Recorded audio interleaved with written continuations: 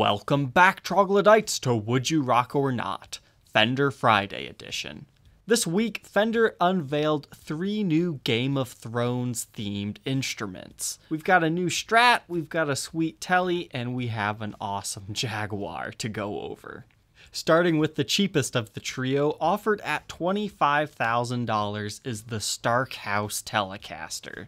This instrument features a maple neck with an ebony fretboard and a two-piece swamp ash body. This one has to be my favorite of the three because it still looks very guitar-like, but with some very key details here. The first fret inlay is the dire wolf, which is also seen here on the pickguard, and at the 12th fret of all these instruments, they have what they're calling the Game of Thrones O. Apparently that's made of coral.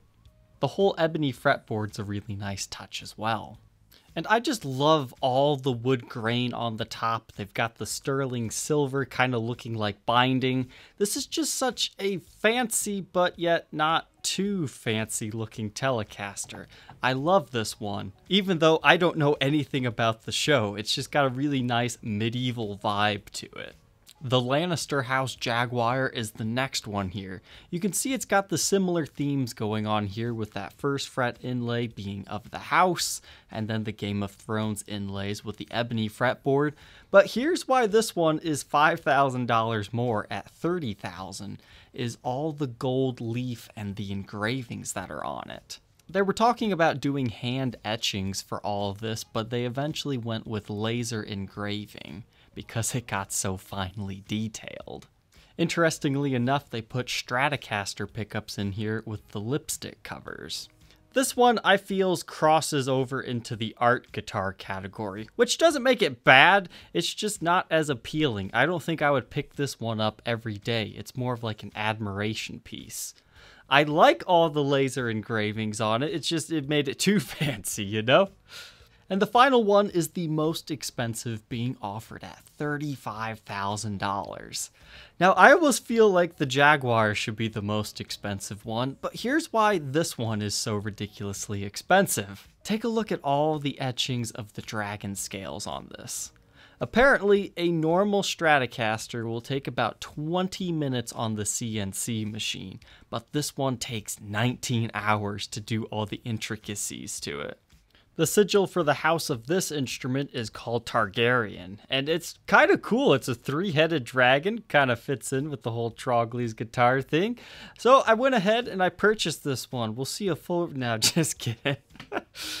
Nope, I'm not going to spend 35000 on this, but we can appreciate the design. I mean, look at that red Fender logo. You've got, once again, the sigil at the first fret, the Game of Thrones at the 12th. You've got the three-headed dragon on this really kind of coppered color pickguard. All the intricate scales. I love the blacked out vibe of this instrument. It almost kind of has a steampunk vibe to it with that pickguard. These are three very unique instruments, and I'm sure fans of the show who have deep pockets will be really into them. The one thing that always impresses me about Fender is they're really good at marketing their high-end custom shop items. They produced a video on their YouTube channel that showed you these guitars a little bit more up close and teaches you all the nitpicky details of how they're made and what they're made of and their specs. And that's the best way to market your products being a Gibson fan, it's kind of a shame that Gibson puts no effort into marketing like this. I'll put a link in the description to that video. The only question left, would you rock the Fender Custom Shop Game of Thrones instruments or not? Leave your answer down in the comment section below. Don't forget to like, comment, and subscribe, and we will see you tomorrow on the next episode. Take care.